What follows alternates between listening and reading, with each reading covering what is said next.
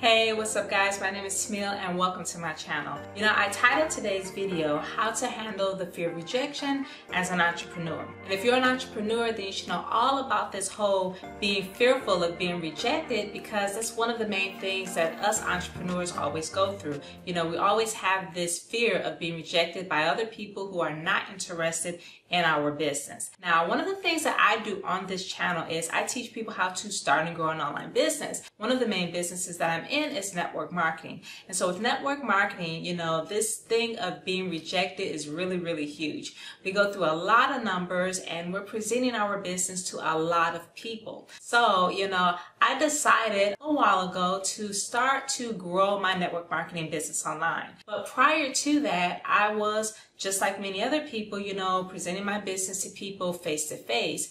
And one of the things that I've noticed is that a lot of people, unfortunately, were not interested in my business. So one of the things that I wanted to do is I wanted to reach out to more people and have more reach with my business. And so I started to learn how to grow my business online and how to generate leads online for my network marketing business. Now, network marketing is just one of the things that I can dabble into because I'm in the digital arena. So affiliate marketing, network marketing, all of these different type of marketings that you can do online, you know, are really, really, you know, beneficial to having an online business. So that's one of the main ways that I promote my business is I promote it online with generating leads and putting out a lot of valuable content. So I still have to talk to people. So just by me, you know, building my business online doesn't mean that I don't have to communicate with people. And one of the main reasons that people are fearful um, as an entrepreneur is that they're fearful of being rejected by people that they have to talk to. And so you can't really get around this whole idea of, you know, talking to people every single day about your business,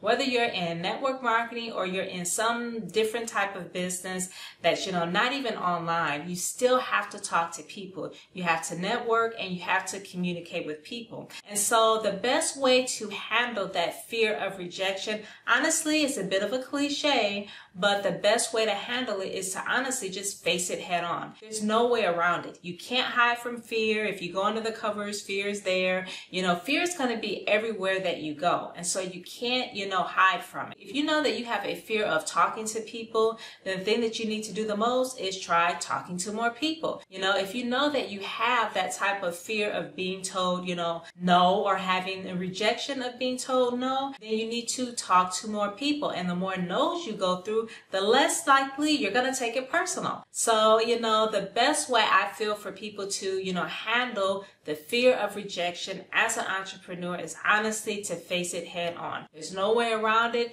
You're going to eventually come to this point in your business where you're going to get some form of rejection, whether it's people not interested in your product or your service or they're just not interested in the type of uh, business that you're in in general. Um, one of the things that I often encourage people to do to help, you know, build up their self-esteem and to help build you up on the emotional side is to start reading, you know, self-help books, start listening to motivational audios and, you know, start listening to, you know, motivational videos. There's a lot of, you know, motivational speakers out there that totally understand what it's like to be an entrepreneur and there's tons of them that you can find online that you can listen to each and every day to help build your self-esteem up and to help encourage you to keep going whenever you feel like you want to stop or you want to quit your business. So, you know, I definitely encourage listening to audios, you know, reading, you know, inspiring books. Start reading about people who are where you are. Start reading, you know, books and start listening to audios that will help you build your self-esteem and to help build you up so that when you start facing a lot of these rejections in your business,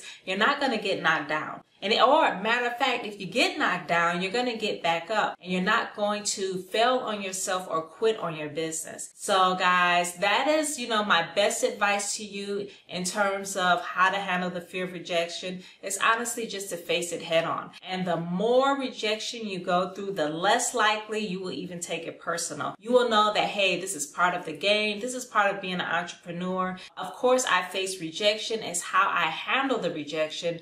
That's the most important important thing. And that's the way I think about my business. You know, I know that it's coming. I know that, you know, everyone's not going to be interested in what I have to offer, but I'm okay with that. But I know that there is somebody out there that is interested in my business. So if you are running your business online, you're not going to get around, you know, not talking to people because you're going to eventually have to present your business to someone if you're generating leads online. And now if you have a business that's offline that doesn't have very much to do with, you know, online marketing, it's still the same thing. It's still networking.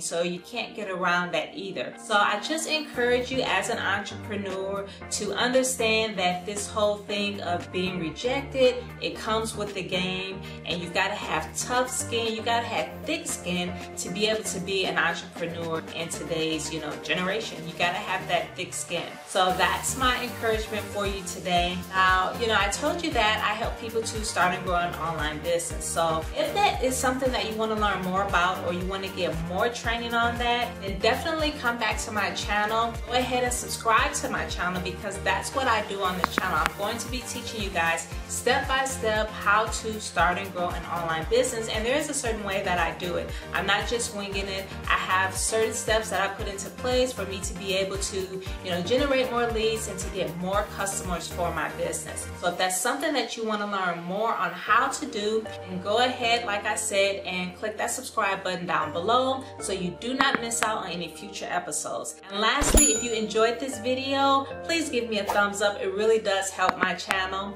And if you have any questions on, you know, how you can start and grow an online business, or if you have any comments about this video, then go ahead and leave those comments down below. All right, guys. Well, I hope you got a lot of value out of this video. And like I said, come back and join me again for more videos just like this. All right, guys. Thanks for watching, and I will see you on the next video.